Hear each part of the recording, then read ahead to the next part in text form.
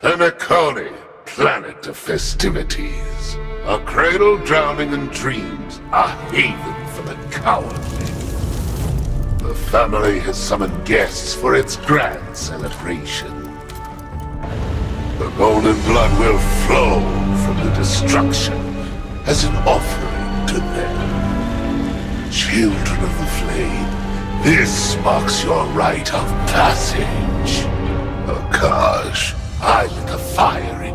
Eyes and showed you music of the strings. Serenade the celebration and hush the harmony into muted awe. It will be done, Father. Dubra, I set your form alight and taught you mastery of the blade.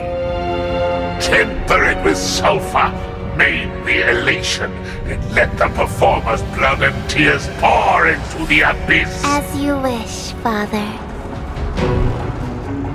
Caterina, I kindled a flame in your heart and granted you blood of fire.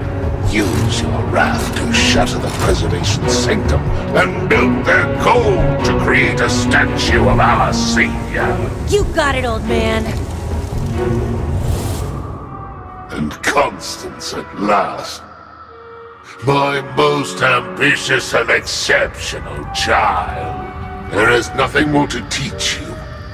Just remember, without Penacony's midnight hour, strip away all they hold dear, and leave naught but the remembrances too.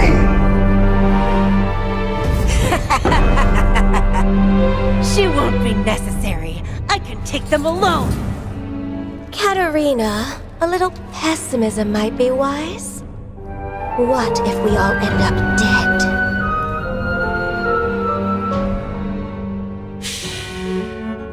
Since when have those on the path of destruction feared death? Still, it is wise to plan ahead, Father.